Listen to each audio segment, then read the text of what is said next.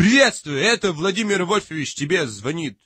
Пока ты встречал Новый год, уже наступило Рождество. Давай вставай и будем отмечать вместе. Ведь Жириновский знает толк в праздниках, однозначно. Желаю тебе любви и счастья, крепкого здоровья. Ну а что не сбылось, то обязательно сбудется.